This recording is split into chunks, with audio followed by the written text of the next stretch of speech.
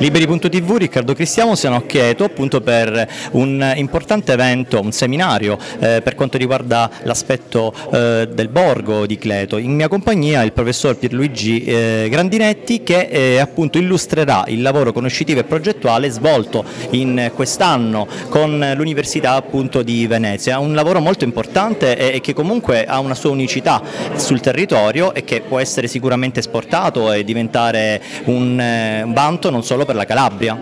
Sì, noi stiamo lavorando sui borghi antichi del Mediterraneo, all'interno di questo sulla Calabria siamo partiti con un progetto Conflenti e un progetto Cleto.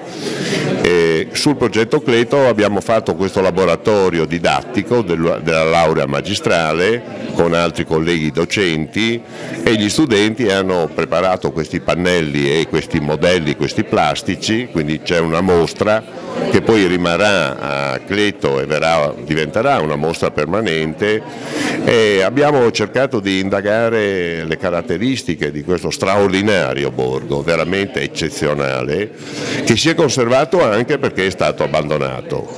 Eh, è un borgo che ha, è un vero gioiello che eh, la Calabria ha come ha al, molti altri borghi semi abbandonati, Conflenti Superiore, ieri abbiamo visto Altilia e così via, che possono diventare elementi di un percorso turistico di valorizzazione mettendoli in rete e che sono oggi secondo me una straordinaria eh, risorsa per la Calabria, che purtroppo la Calabria, di cui la Calabria ancora non è consapevole, a parte i sindaci. Ecco, quindi è ora che la Regione si svegli e si renda conto che i borghi calabresi sono veramente una risorsa mondiale che può costituire elemento per una rinascita, un rilancio turistico e quindi anche economico e produttivo. Professore, un'ultima domanda, poi la lascio al seminario che so che eh, inizierà da qui a breve. Lei mh, eh, viene appunto da Venezia, che comunque da sempre ha valorizzato, o saputo valorizzare.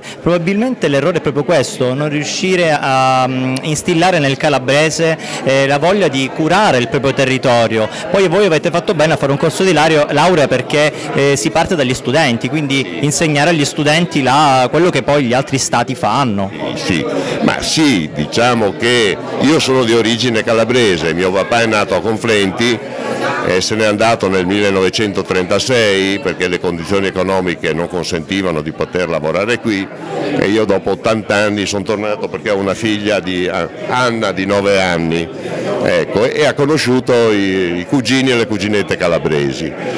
Ecco, c'è un mistero calabrese che è questo, la Calabria ha delle risorse straordinarie, storiche, culturali, alimentari, qui si mangia benissimo, avete delle eccellenze agroalimentari, avete un sacco di soldi, finanziamenti, come mai la Calabria è la regione più povera d'Italia? Ecco, a questa domanda io non so rispondere. Io spero che ci sia una rivoluzione culturale e che la Calabria si appropri delle sue ricchezze che ha e riesca finalmente a valorizzarle. Questo è un auspicio che faccio veramente col cuore.